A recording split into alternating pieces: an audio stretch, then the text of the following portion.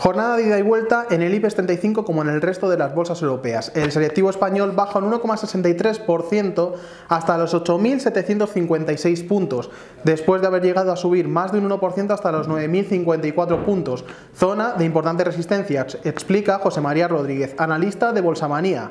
El giro a la baja se produce a la vez que en Wall Street, donde el Dow Jones ha llegado a marcar máximos históricos por encima de los 18.700 puntos, pero se gira para cotizar con caídas debido principalmente al lastre que supone el sector tecnológico y el sector eléctrico.